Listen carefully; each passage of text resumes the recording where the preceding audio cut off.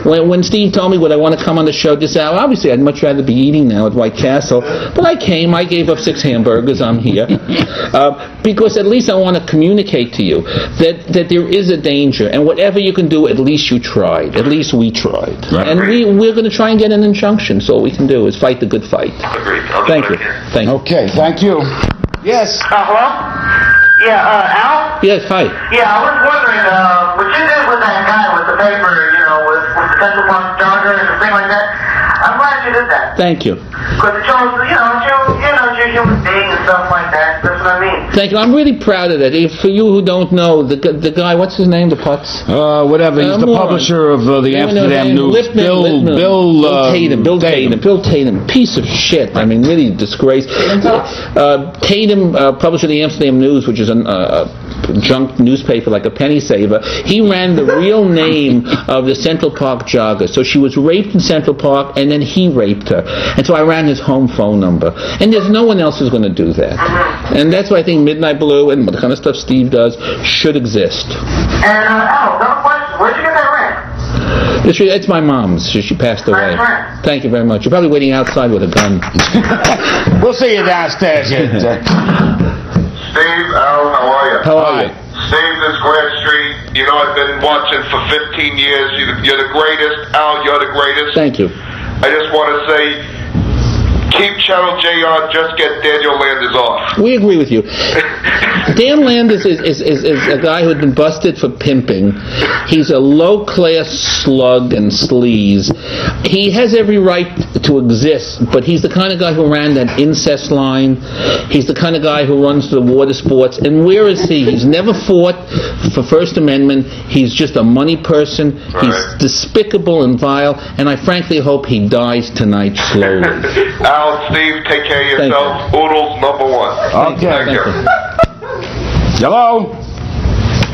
Yes. Yeah, what can we do to be most helpful? Tell us. It's a good question because Steve would know. He's more constructive. Uh, what can you do? You can call the cable company and voice uh, your opinion that you want Channel J to stay. You can. Uh, you, What about politicians too? With I- Solar's help, I mean, I, uh, who would be most responsive to public? To well, you, public you got response? you got the people who put the pressure on the cable company to get rid of Channel J. You're talking about Ruth Holtzman. You're talking about uh, you're talking about Liz Holtzman and Ruth Messinger. Uh, you should you should be phoning them. You should be phoning Dick Aurelio. He's he, you call up to Time Warner Cable and it's at 1271 Sixth Avenue and I don't know the phone number and you ask for Richard Aurelio and, and you if you get through to him you tell him if you're not to leave a message with the secretary you want Channel J. Aurelio, really? You know, he was a lousy deputy mayor to begin with. He was the worst. I mean, he uh, in a terrible, corrupt administration, the Lindsay administration. But I, it, I don't know what one does, but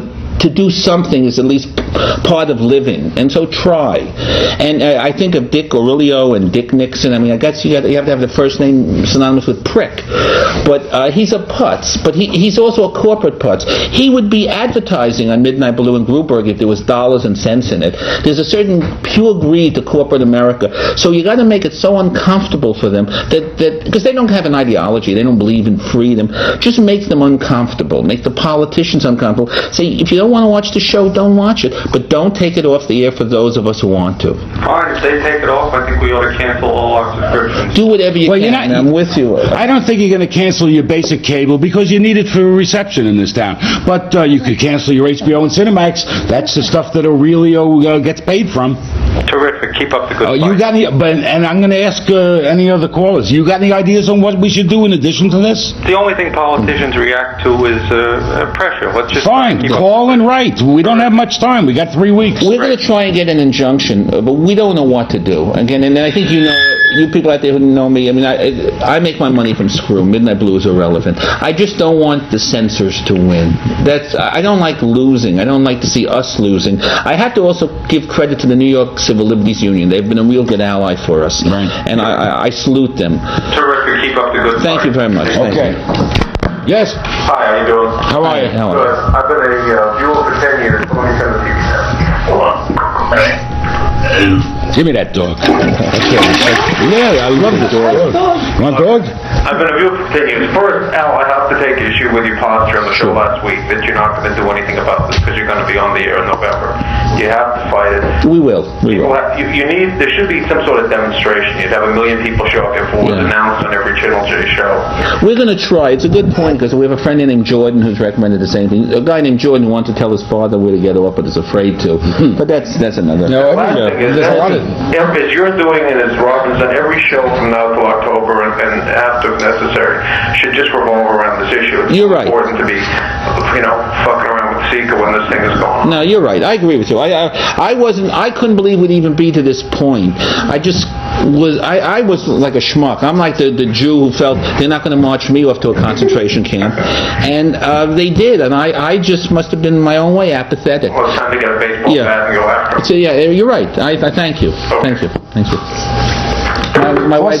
Go ahead. Good. We know much. Go ahead. Yeah, well, your wife. uh, We got. Uh, what do we got? We got three minutes, four minutes. Four seven five one five five oh. zero. Al, I gotta ask you a question. Hi. question. Yes. Al, have these idiots ever heard of remote control?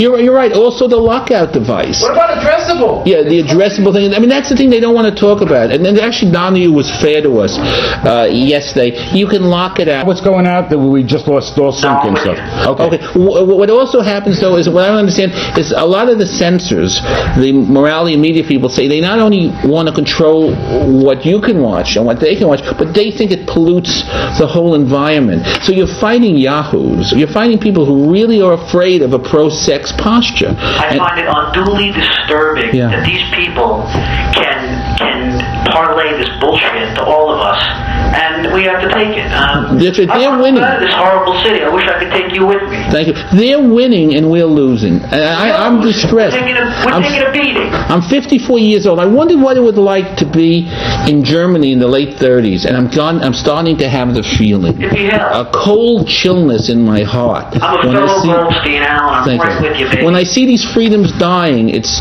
truly frightening.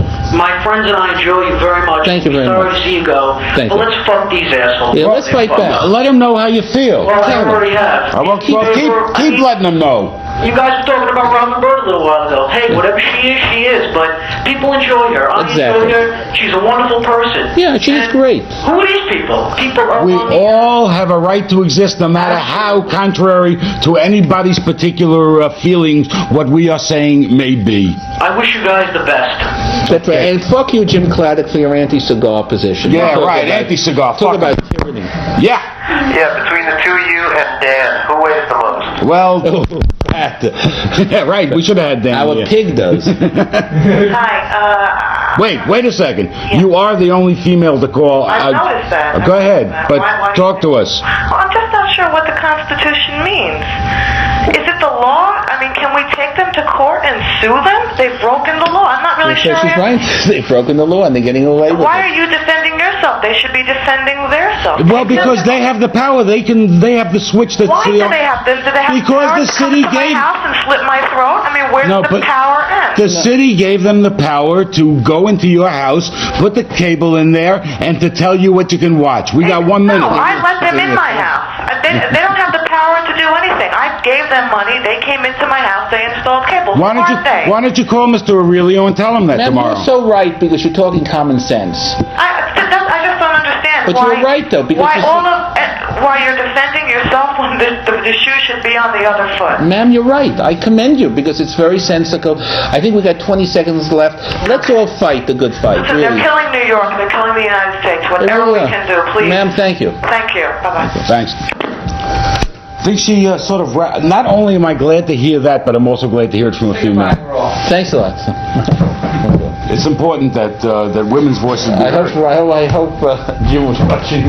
Yeah, I'll hear, get a bill from him. He's out there. Yes, yeah, he can hear you. Can you hear him? yes. I don't know. Yeah, I can hear you.